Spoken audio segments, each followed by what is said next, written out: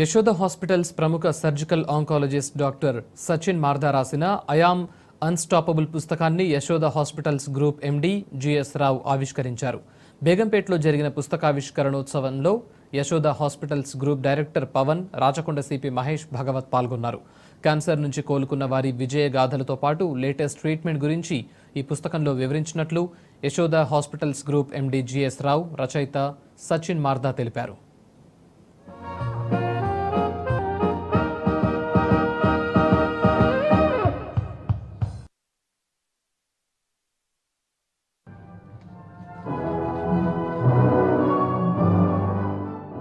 Book launching సందర్భంగా జనరల్గా డాక్టర్లు ఏంటంటే కట్టింగు స్టిచ్చింగ్ అంటే ఆపరేషన్ చేయాలి కుట్టాలి ఇదే పని చేస్తారు.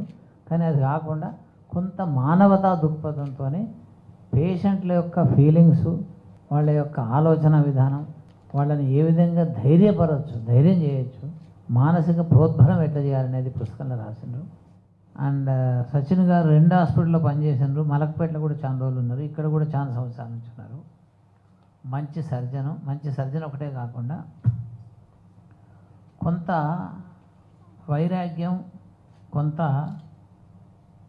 మానవతా తత్వంతో కలిగి ఉన్నటువంటి సర్జను మానవ సేవనే మాధవ సేవ అనుకునేటటువంటి తత్వం ఉన్న డాక్టరు. ఇలాంటి పుస్తకాలు రాసి అంటే ఓన్ రియల్ స్టోరీస్ ఇవన్నీ వేరే ఏదో అక్కడి నుంచో కాకుండా ఆయన యొక్క పేషెంట్ల యొక్క వాళ్ళ యొక్క కష్టాలు నష్టాలు స్టోరీస్ వాళ్ళు వాళ్ళ యొక్క జర్నీ చూసి వాళ్ళని ఏ విధంగా ఉత్తేజపరచడం అనేది రాసిండ్రు. నేను చాలాసార్లు డాక్టర్ సచిన్ గారితో పుస్తకం కాకుండా వేరే విధంగా కూడా ఇంటరాక్ట్ అయినప్పుడు ఆయన యొక్క భావాలు ఆయన యొక్క ఆలోచన విధానం చాలా బాగుంది.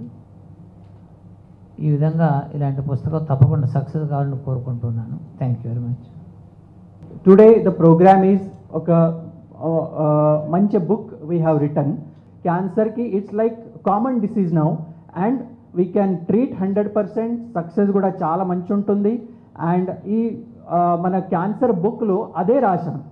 పేషెంట్స్ ఎలెవెన్ ఇన్స్పైరింగ్ స్టోరీస్ అంటే దాని గురించి భయపడని అవసరం లేదు. మన దగ్గర మన హాస్పిటల్లో ట్రీటెడ్ పేషెంట్స్కి వాళ్ళ జర్నీ అంటే ఎలా వచ్చింది దానికి మనం ట్రీట్మెంట్ ఎలా అయింది అండ్ ఇప్పుడు వాళ్ళ చాలా మంచి life they are spending time so అదే ఇన్స్పిరేషన్ స్టోరీ ప్రేరణాదాయక స్టోరీస్ ఉన్నాయి.